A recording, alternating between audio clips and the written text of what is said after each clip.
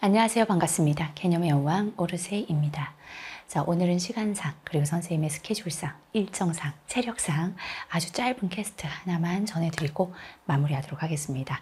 한 2주 정도 여러분들에게 캐스트를 올리지 못할 수도 있겠다라고 생각을 했으나 또 캐스트에서 힘을 얻고 일주일을 버틴다라는 글들을 보고 아, 어, 짧더라도 이야기를 해야겠다라고 생각을 하고 있었는데 오늘 선생님이 이 스튜디오에 들어오는 동안 잠시 스쳤던 어떤 분이 선생님한테 어, 갑자기 이런 말씀을 하시더라고요. 그래서 음, 아, 이 이야기를 오늘 캐스트에 간단히 이야기해 줘야겠다라고 생각을 했습니다.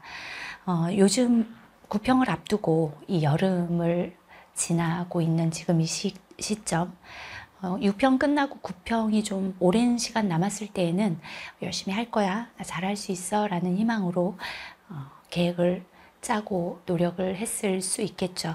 근데 이제 공부를 하다 보면 마음처럼 쉽게 되지 않고 또는 공부를 열심히 함에도 불구하고 내가 변화가 변하고 있다라는 걸 빠르게 느끼기가 힘들기 때문에 늦게 느낄수록 수능 결과는 좋을 거예요. 스토리가 수험생들의 스토리는 거의 대부분 비슷해. 되게 힘들었던 수험생들이 마지막에 크게 웃어. 그러니까 끝까지 참아내야 되는데 지금 힘든 여러분들의 뭐 공부를 잘하고 있든 못하고 있든 다 다른 이유로 심적으로 쉽지 않은 고통들을 겪으면서 아마 공부를 하고 있을 거예요. 그래서 여러분들 마음속에 음 가지고 있는 접속사, 접속사를 좀 바꿀 필요가 있겠다라는 생각을 해요. 선생님이 어, 일을 하다가 강의를 하다가 너무 힘들면 힘들다라고 말하지 않고 행복하다라고 말하거든요. 정말 체력적으로 더 이상 할 수 없겠다라는 생각이 드는 순간이 오면 정말 감사하다라고 써요. 핸드폰에. 그렇게 내 표현을 하나하나 바꿔가는 것. 어, 선생님도 여러분들과 함께 성장하고 있다라고 늘 얘기하지만 나의 표현을 하나하나 바꿀수록 내 삶이 바뀌고 있다라는 걸 어, 느끼기 때문에 더더욱 열심히 힘든 순간 행복하다. 예, 더 이상 못하겠다라는 느낌이 오는 순간 감사하다. 뭐 그런 생각들을 하고 그런 행위를 하고 있는데 오늘 선생님 만나신 분이 이런 얘기를 하더라고요. 인생에 내가 사용하는 접속사 몇 개를 바꿔내면 그건 몇 개만 바꿔도 그 뒤에 붙는 많은 문장들이 달라질 거다라고 하는데 뭐 여러분들이 요즘 느끼는 감정을 선생님이 한번 적어봤어요. 힘들다. 라는 거. 아, 힘들다. 이런 생각이 들겠죠. 근데 그 접속사가 그래서로 연결이 되면 힘들다. 그래서 뒤에 붙을 수 있는 문장은 너무 뻔하지 않을까?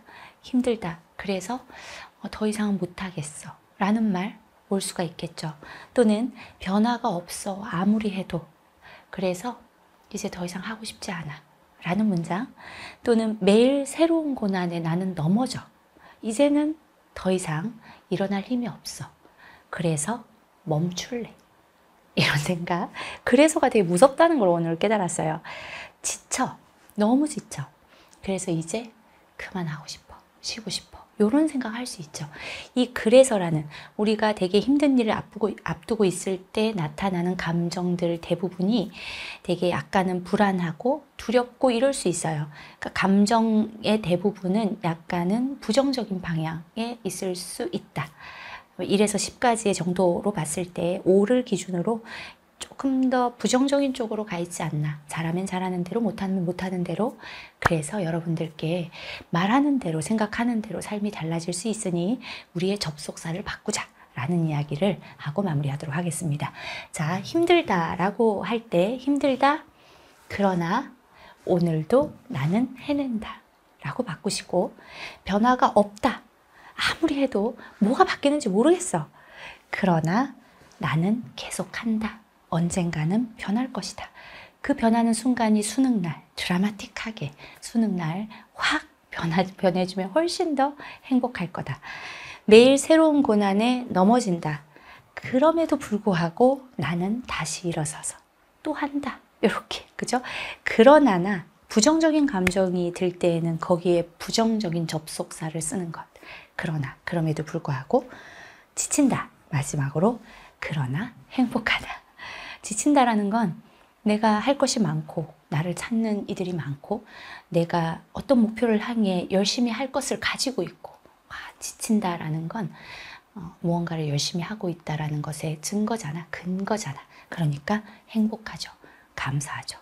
이렇게 우리의 접속사를 바꿈으로써 뒤에 따라오는 문장들을 바꿔나가면 결국 여러분들은 수능날까지 탄탄하게 행복하게 신나게 뛰어갈 수 있을 거고 그 하루하루가 수능날 성적을 바꿀 거예요. 그래서 여러분들 마음속에 부정적인 감정이 들 때 그래서라는 접속사가 아니라 부정을 부정하는 그러나 그럼에도 불구하고 나는 going 한다. 라는 걸로 바꿔주시면 좋을 것 같습니다. 자, 오늘 캐스트는 이렇게 짧게 마무리하도록 할게요. 고생하셨습니다.